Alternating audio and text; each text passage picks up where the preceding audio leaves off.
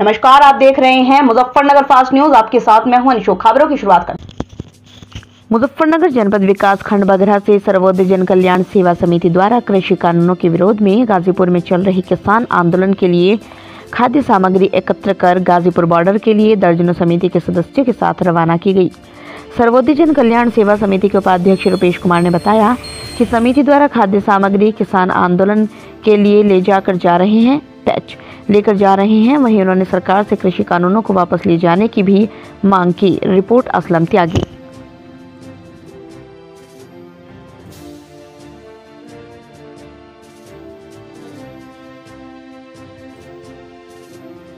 हमारी समिति सर्वोदय जन कल्याण सेवा समिति तन मन धन से किसानों के साथ है और सरकार को ये तीनों बिल वापसी लेने चाहिए। किसानों के साथ, किसान, मजदूर और लगभग हरी वर्ग हर वर्ग का आदमी किसानों के साथ है।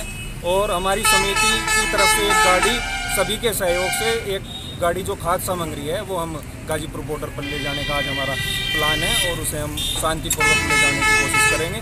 और किसी भी तरह की कोई नारेबाजी नहीं होगी, क्योंकि देश की एकता, हमारी एकता है।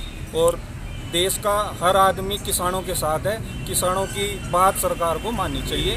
बस ये मैं कहना चाहता हूँ। बाकी जो कुछ आदमी ऐसे हैं जो किसानों को खालिस्तानी बताना चाहते हैं, कुछ कह रहे हैं कि वे तो आतंकवादी हैं तो ऐसा कुछ नहीं है। सरकार को इन सब चीज़ों को इग्नोर करके किसानों की बात माननी चाहिए और इन बिल को वापस लेना चाहिए। हाल के अहम खबरों में बस इतना ही लेकिन आप कहीं जाइएगा नहीं। बाकी की तमाम छोटी बड़ी खबरों से जुड़ने के लिए देखते रहिए मुजफ्फरनगर फास्ट न्यूज़। नमस्कार।